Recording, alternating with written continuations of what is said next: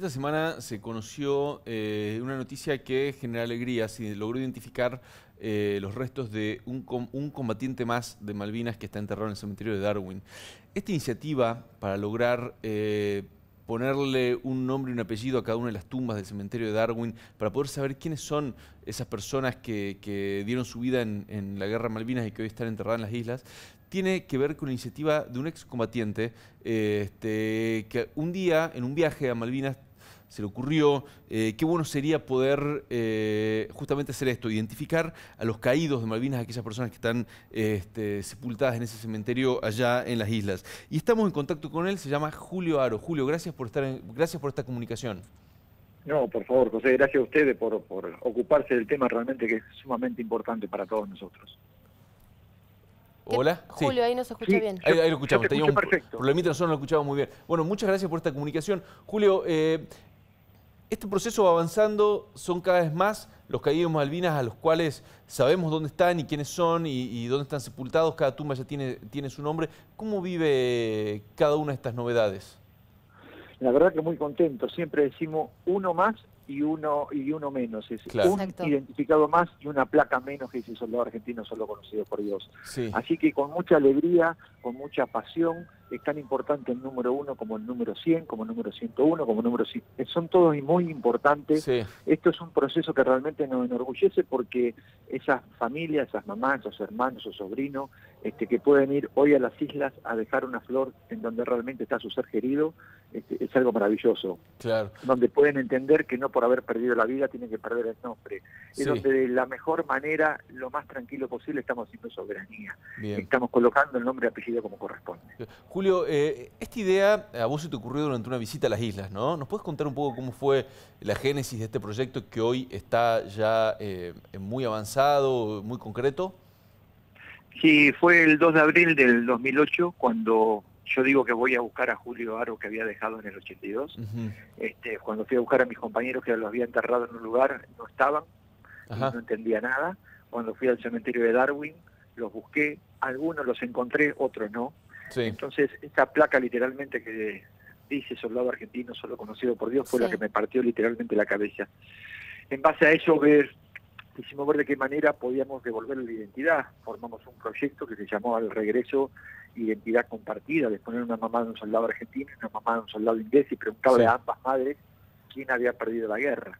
Y para ambas madres habían perdido los dos la guerra porque perdieron su ser más querido. Exacto. En base a ese proyecto y durante el mismo año fuimos invitados por SAMA 82, que es un grupo de veteranos ingleses que son todos los que nuclean el conflicto de, Malvinas. Sí. Y en ese conflicto, en ese, en ese viaje, en esa visita a Londres, queríamos ver cómo comentarle este proyecto, comentarle la idea de por qué no había pasado, que no entendía nada, que esa placa nos partió literalmente la cabeza.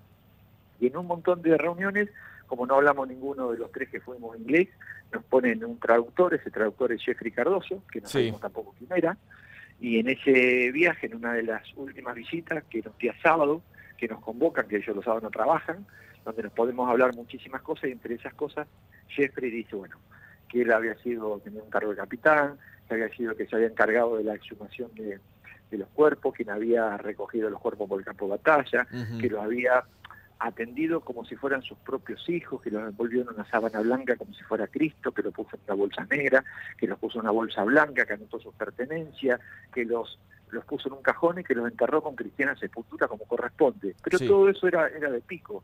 Saca un sobre todo de un, de un pilotín, un sobre de madera, con un informe que era impresionante. Cuando lo hicimos traducir era impresionante. Las coordenadas donde las encontró, fotos.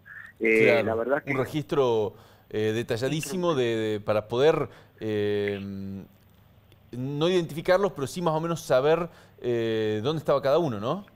Sí, dónde estaba cada uno. De hecho, de los 237 que están enterrados en Darwin, algunos estaban identificados y para él era de mucho dolor no poder identificar, porque no tenía ninguna forma de poder identificar a los a los que hoy están siendo identificados. Entonces, para él era él hizo ese trabajo, vos acordate que en esa época no existían los ADN, pero hizo ese trabajo de esa manera, no sabe por qué, con tantas bolsas y con una era suficiente, y no sabe por qué se tardó tanto tiempo, porque esto de repente dice, bueno, algún día, dos, tres, cuatro años, alguien exhumaría esos cuerpos para saber quiénes son.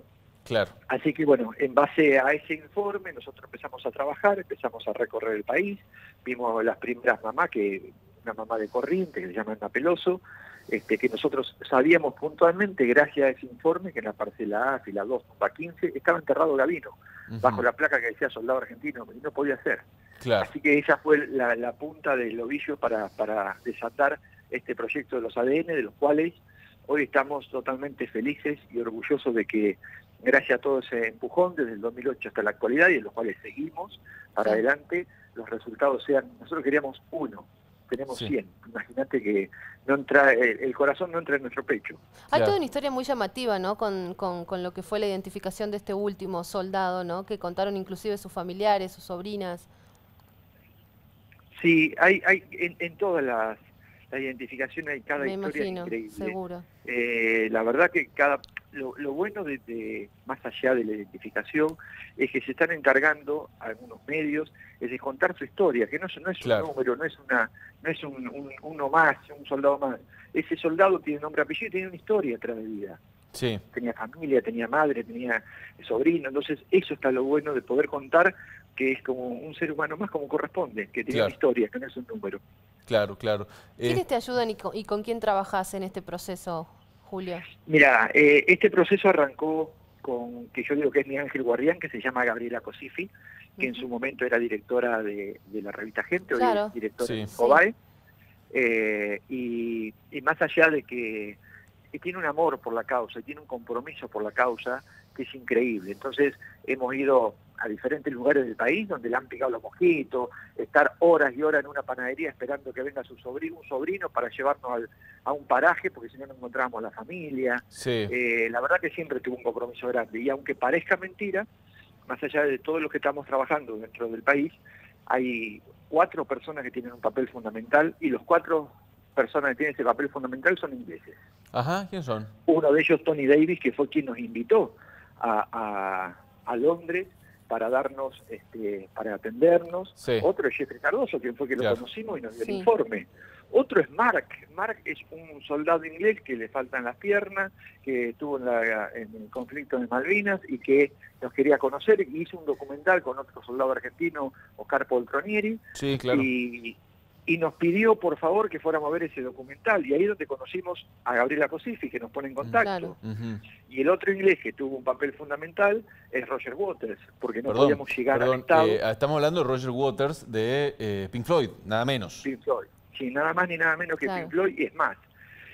Nosotros este tiene una comunicación viene el día 6 y el día 10 este a, tocar a cantar y nos pidió exclusivamente que le podamos juntar a alguna de las madres de Malvinas porque desde ese día que entregó la primera carta a la presidenta hasta el día de la actualidad, eh, no hay un momento donde no pare de escribir y si cómo están, cómo vienen, se pone muy contento, se emociona por cada identificación que hay, tiene un compromiso este, social y humanitario increíble. Claro.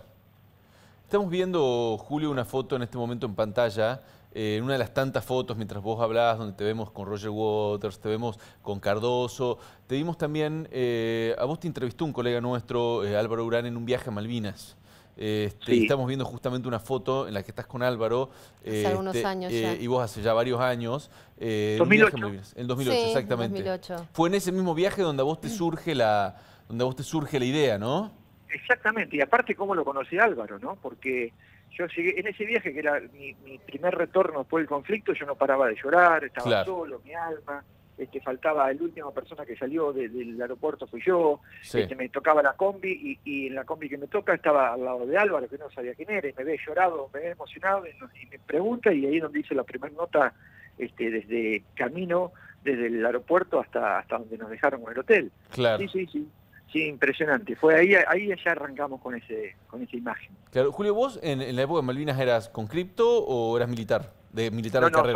Soldado. soldado. Soldado. fui soldado este, con cripto, así que del regimiento 6 de Mercedes de provincia de Buenos Aires. Bien, perfecto, buenísimo. Bueno, Julio, muchísimas gracias por tu testimonio. La verdad que nos alegra, creo, a todos los argentinos saber que que hay un nombre más en el cementerio de Darwin para que una madre, como decías vos, una tía, una hermana, un primo, un hijo, puedan ir a dejarle unas flores este, y los seguimos acompañando en esta, en, esta, en esta lucha del día a día por identificar a los caídos Malvinas. Yo, déjame que te diga, eh, José, que realmente te agradezco. Ustedes son testigos de, 2008, lo que pasó ahí con Álvaro hasta la foto. Esto es un proceso muy largo, muy lindo, muy hemos tenido cientos de palos en el camino, pero nunca nunca aflojamos porque tenías este reconocimiento. Cuando todo el mundo te decía que éramos pagos por los ingleses, que había cuestiones políticas, mm. cuestiones personales, hoy se queda demostrado que lo único que nos interesa es el ser humano, es no dejar a nadie atrás en el campo de batalla. Y la forma de no dejarlo a nadie atrás en el campo de batalla es hablar con cada una de las familias y decirle que tienen la posibilidad de saber en cuál de esas cruces está su hijo. Así que estamos orgullosos. Esto no es un logro personal, sino que tenemos que estar todos los argentinos contentos con, con que decimos tenemos uno más y uno menos. Como uno más, y esa placa, este, un soldado más y una placa menos que dice esa leyenda que nunca tendría que haber existido. Julio, un abrazo grande. Un Muchas abrazo, gracias. Eh, ¿eh? muchísimas gracias. No, por favor, un abrazo a los dos y gracias por la comunicación y por la ocupación. No, por favor. Por favor, Chao, gracias. Hasta luego.